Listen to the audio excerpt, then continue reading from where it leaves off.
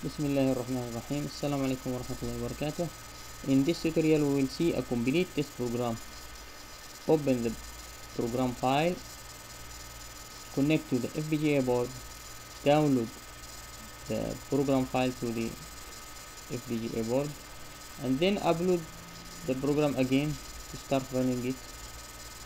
Open the test, test data memory to download the test data file. Select the test data file and download it we have here the expected result start from this vector 11a and start from byte 468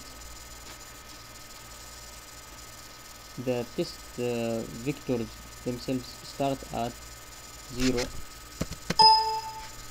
we have the each test vector cont contains uh, consists of uh, 4 bytes the last bit the last byte is uh, scan chain 5 bits. And we have here 8 bits from the first byte 7 bits from the second byte 3 bits from the third byte. All of these represent 23 bits which represent the test vector here. Each row represents a test vector. This is the test data memory. Upload again to check if it's downloaded correctly. Now open the test result memory and see it's all zeros. Starting from zero. So it's empty now. Let's now start running the program. Single speed mode. Here we set the high frequency to indicate that we are doing at speed testing. And here we set the frequency control word here the number of maximum iteration. Here we will measure the frequency. Let's set a breakpoint here and run to this breakpoint. So we are running now at 25 megahertz. This is the current frequency. Now we have 118 test vectors we'll send them. We will send the inputs then scan chain then we will apply and read output. Uh, here we will read output and read the scan chain. And we loop for all test vectors let's do it for the first test vector here. Set a breakpoint here and run all again. And let's check the test data memory. Let uh, let's see the expected result and the test result memory will show us the current result which is identical with this uh, expected result. So we did this for the first test vector. Return again to the program. We will do the whole loop for all test vectors and we'll compare the result using those these compare instruction. Set a breakpoint here and reset the program again and run it from the beginning.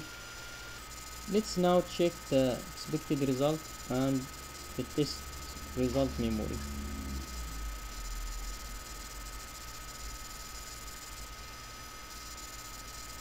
this is the test result it is identical as we see but we can also see the compare result. Here we have all zeros. So there is no error here. And the compare uh, flag is off. So that means we have no error at 25 megahertz. So if we run the whole program or let's do it for another loop. For 27 megahertz we have no error. Let's do it again. Oh, let's let's do the whole program till the exit point. We can see that it's run correctly till 130 megahertz and now the compare flag is off is on. That means there is an error. Let's check the compare memory here and see where is the error.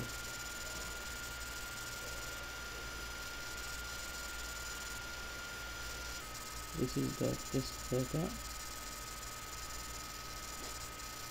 And this is the test result memory.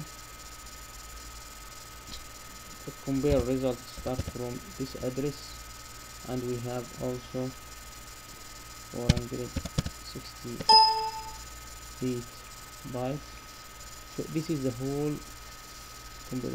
there is some errors but we can reorder columns and we see one two three four five errors. Here we have this test vector vector number 92 has error and this and this and this all numbers in hexadecimal those error priced at 130 megahertz. Thank you